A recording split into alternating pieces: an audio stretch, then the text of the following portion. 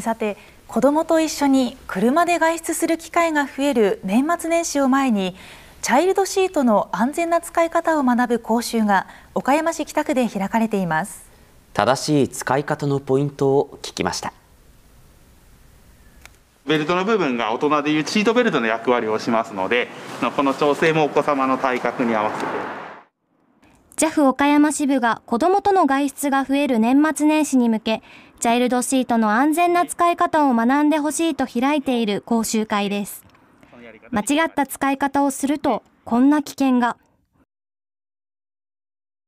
危険から身を守るために、チャイルドシートの設置にはポイントがあります。肩の上にあるベルトを体重をかけて強く引っ張って、こちらがピンと張った状態になると、しっかりと固定することができます。正しい使い方で安全を守ることができるチャイルドシート。6歳未満の子供には法律で乗車中の使用が義務付けられています。しかし、6歳を過ぎても身長が140センチを超えるまでは、チャイルドシートやジュニアシートの着用が必要だと言います。6歳でやめてしまうと、シートベルトを使うということになると、その肩に来るべきベルトが首にかかったり、腰に来るべきベルトがお腹にかかったりする。そので衝撃を受けたら体に大変なダメージがきます。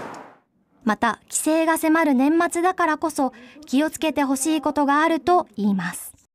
おじいちゃんおばあちゃんの世代チャイルドシートでの子育てを経験している世代の方がちょっとぐらいいいじゃないの。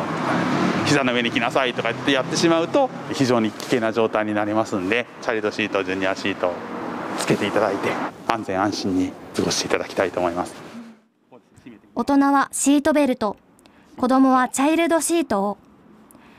どちらも正しく使用することで、もしもの時に命を守ることにつながります。